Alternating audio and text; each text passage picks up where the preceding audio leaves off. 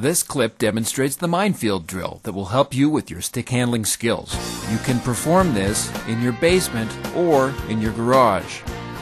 To set this up, place several pucks or other obstacles randomly around your practice area. With your gloves, your practice stick, and a stick handling ball or a golf ball, you are ready to go. Move through the minefield of obstacles, finding a path to get to the other side. Challenge yourself by attempting to stick handle around every puck or obstacle in your path.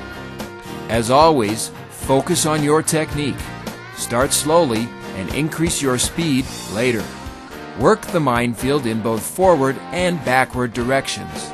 Practice using the toe for pull ins on your forehand and the heel of the stick at times on the backhand.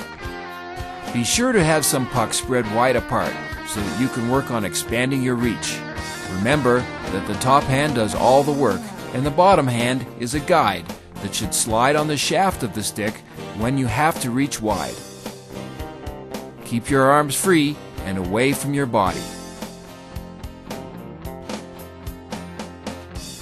Use your split vision so that you are not staring down at the ball. For the most part, handle the ball in the middle of the blade and remember to try to make as little noise as possible.